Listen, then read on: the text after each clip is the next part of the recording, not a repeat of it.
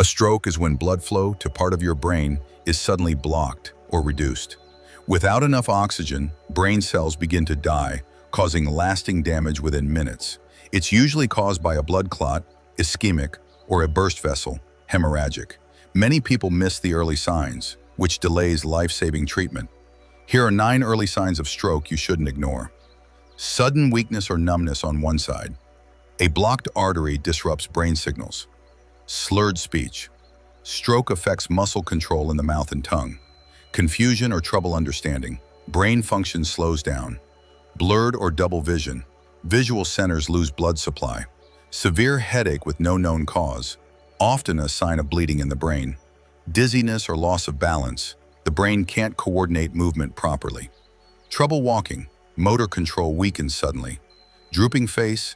Nerve damage shows in facial muscles. Trouble swallowing? Affected brain regions disrupt the swallowing reflex. Have you noticed any of these in someone close to you? Share below.